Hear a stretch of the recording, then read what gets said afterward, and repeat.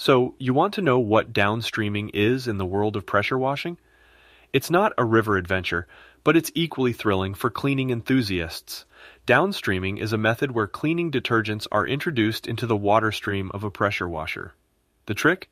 The detergent is siphoned from a container through a low pressure soap nozzle, mixing with water as it's sprayed out.